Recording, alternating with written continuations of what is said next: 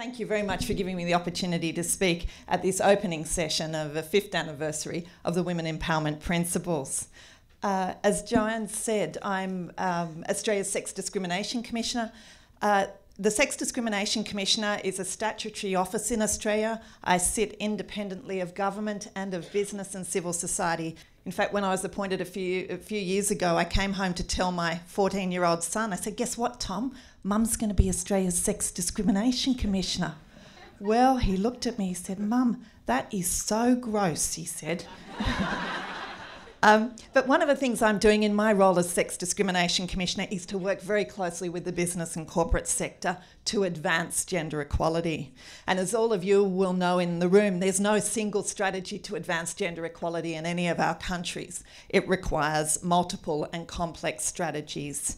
Um, and not just multiple and complex strategies, but we need the involvement of all sectors. With the number of women on the ASX, so the top 200 boards increasing by almost 50% in that two year period, 2010 to 2012. Um, we're still embarrassingly low, 15.4% of board directorships of ASX 200 companies are filled by women. But it is a significant increase given we only increased 0.2% in the previous decade. And for some of you who attended Marie Steele, my colleague's presentation yesterday, the other thing that we've done and the Australian government done is to um, introduce very strong workplace gender equality laws, um, particularly directed at all organisations with 100 or more employees. So while these two initiatives have been really welcome, an area where we're doing very poorly is in the number of women at senior executive level. So, not the board so much, but the senior executive level. And it's no surprise why that might be.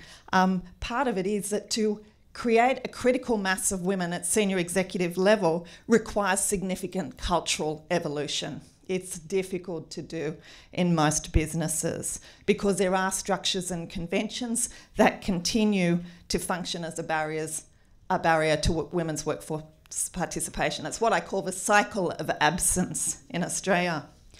So, in my work, I've particularly focused on how we can use the WEPs and really the intent underpinning the WEPs um, to compel particularly male leaders in business to create cultural change.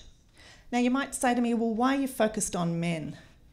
And the reason for that is the more I've been in the role as Australia's Sex Discrimination Commissioner, it occurs to me that to deliver equality for women, we actually have to focus on men. Um, let's face it, the site of organisational power sits with men. If you look at any organisation across uh, pre- pretty much all our countries, the fact is, and particularly if you look at business, both the human and financial resources are controlled by men.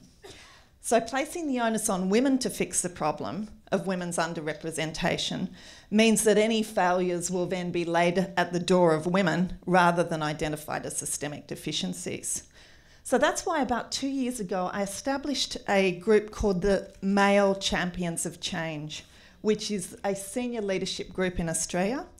Um, and it's a group that's taken the women's empowerment principles and brought them to life through collaboration and through innovative strategies. And I just want to talk a little bit about that today.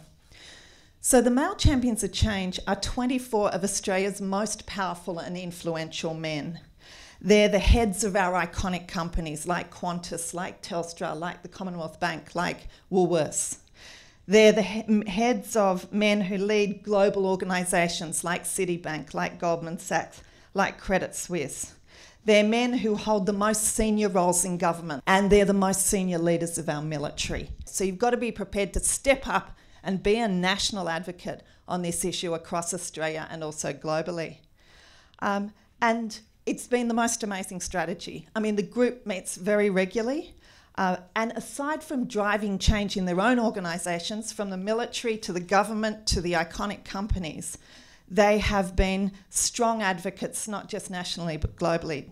Just to give you an idea of that, they've spoken at more than 80 events in the last six months, not just across Australia, but across New Zealand. We've been to Washington with Eileen, um, to Brazil, up to the Middle East. And in fact, even to this meeting here at the CSW, the Chief of Army who is one of the male champions of change, is travelling with me this year into CSW to talk about um, his experiences in transforming, let's face it, the most hyper masculine culture that exists in any of our countries, and that is the military as a male champion of change. And if you're interested, he's speaking at the International Women's Day lunch um, in the North Lawn building on Friday on International Women's Day.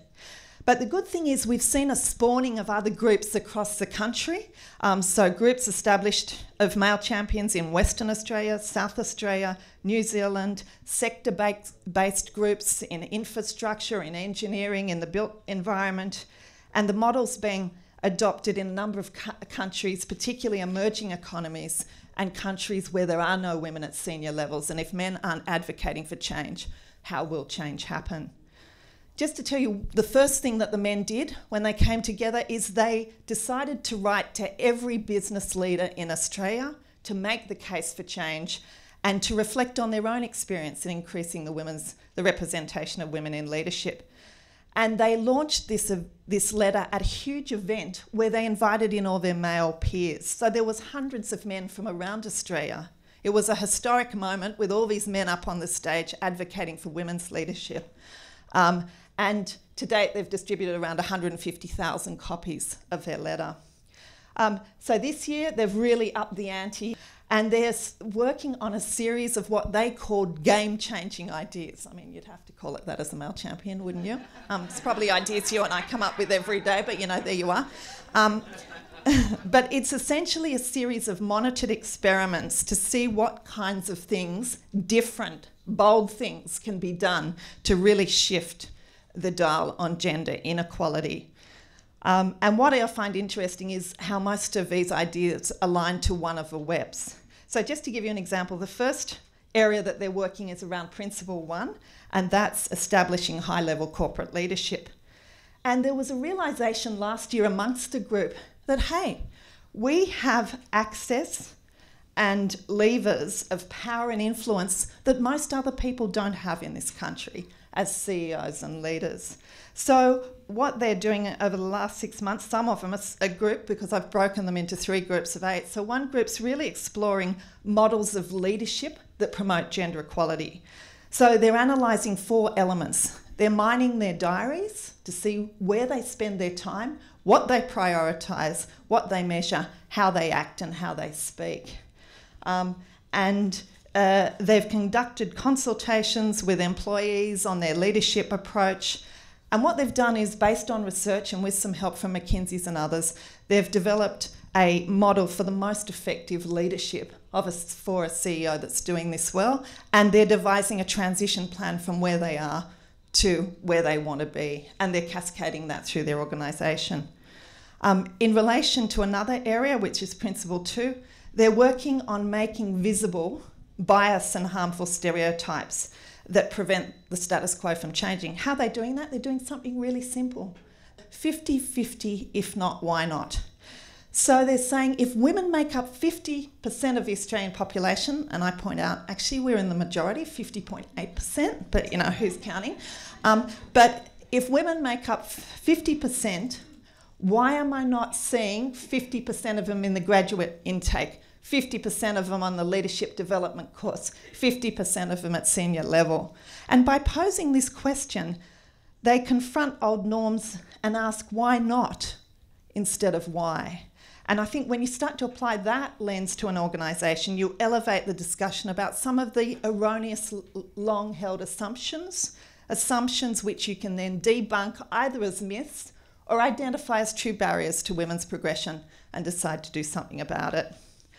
Um, they're also having the hard conversations in their organisation. And uh, one group of eight has held in the last month 30 consultations within their organisation. So, what they do is two CEOs buddy up together. So, the head of the Treasury may come together with the head of Deloitte's, for example. Deloitte's are one of our male champions. Um, and they go into their organisation and they hold a number of conversations some of them are men's only conversations. And as one CEO told me last week, he said he was asked in consultation from one of quite senior man who said to him, So tell me, um, what I'm hearing is that from now on it's going to be harder for me as a man to get ahead in this organisation? Is that what I'm really hearing? To which he replied, Well, yeah, actually, you're probably right, but think of it this way how hard has it been for women for the last 200 years? So it's an interesting conversation that really only the CEO can have, I think, um, with senior members of their staff. And then a further area is in relation to Principle 7, gender reporting. I mean, one of the main things this group of men want to do is they want to take the lead on gender reporting. They want to go beyond what's required by Australian law.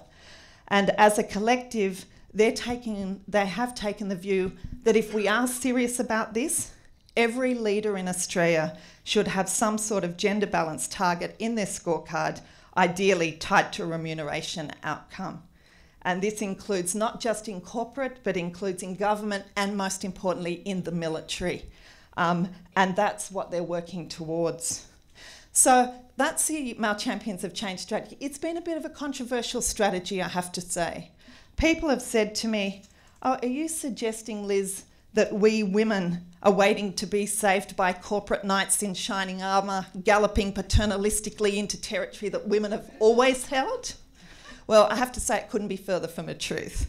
Um, as one of the champions said, he said, Look, the rules of work have been invented by men for men. If we want to change it, we need to engage with men to do so. So I'm absolutely clear women's voices remain critical to advancing gender equality and also eliminating violence against women. But what's also clear is that change will come when men start taking the message of gender equality to other men. That's when systemic change will actually occur. Um, the final thing they've been doing is looking at the issue of domestic violence and why it's a workplace issue. I'm not going to go through to that in um, detail, but just to say that that's a focus for them this year because what affects employees affects employers. And we know that often women who are living in a violent relationship may experience discrimination in paid work. And they've got some very innovative strategies um, for dealing with domestic violence as a workplace issue. Um, which we'll be talking about later in the CSW. So, thank you very much for inviting me in today. It's been a great pleasure to be here.